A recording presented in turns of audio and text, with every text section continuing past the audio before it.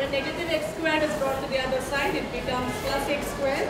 And when 5.38x is brought to the other side, it becomes minus 5.38x and the other side is left with a 0. And then rearrange the terms. And the when it is the second degree equation, first write the second degree term. x squared minus 5.38x